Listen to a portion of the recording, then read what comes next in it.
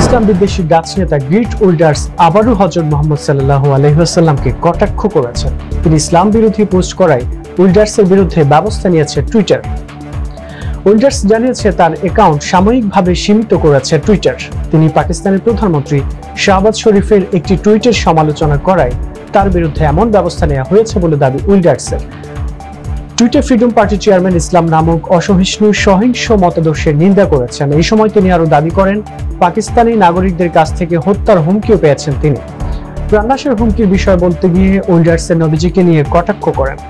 Dutch MP স্থানীয় গণমাধ্যমকে বলেছেন, তিনি সিদ্ধান্তের বিরুদ্ধে আপিল করেছেন এবং তার অ্যাকাউন্ট থেকে পোস্টগুলো সরাতে অস্বীকৃতি জানিয়েছেন। এর আগে অনলাইন ঘৃণা বপনের অভিযোগে তার টুইটার প্রোফাইলটি দু হাজার উনিশ সালে ব্লক করা হয়েছিল। চরম ডানপন্থী নেতাকে নিরাপত্তা নিয়ে চলাফেরা করতে হয়। উইল্ডার্স বলেছেন, নেদারল্যান্ডসে ইসলাম নিষিদ্ধ ও মসজিদ বন্ধের দাবি জানানোর পর থেকে তিনি প্রায়ই প্রাণনাশের হুমকি পান।